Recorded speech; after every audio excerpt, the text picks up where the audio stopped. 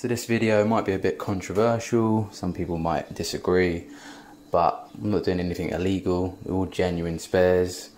Some boiler manufacturers have the same spares as others.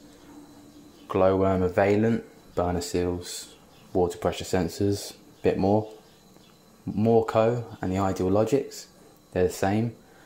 And the Ideal Logic AAV and the Worcester Greenstar AAV, exactly the same, about £30 difference. I've done my research, the parts that I'm showing here that I've fitted, I've spoke to the manufacturer, one of them, or I've spoke to the people that actually make the product for the manufacturer and they've confirmed that it's exactly the same.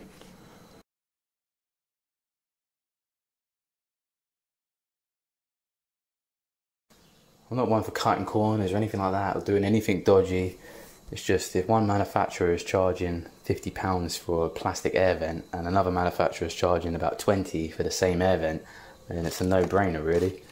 So for all of you out there, if anyone's struggling for money or wants to put the price down for a customer, then it's worth having a shop around, having a look at alternatives. Don't be silly about it, make sure you do your research.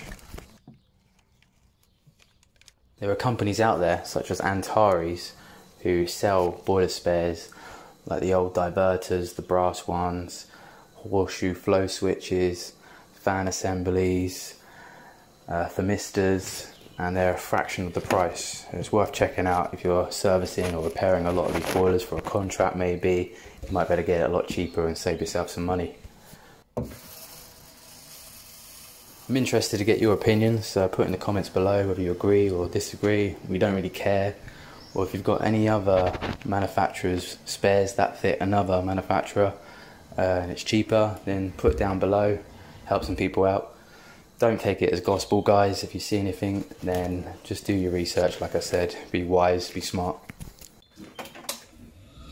If this has helped you out, or you enjoy my videos anyway, give me a thumbs up. It does help the videos and how they do. If you add me on social media, on Instagram or Twitter, then you can find some competitions, promotions, and some plumbing disasters as well. That does it for this video. Thanks for watching.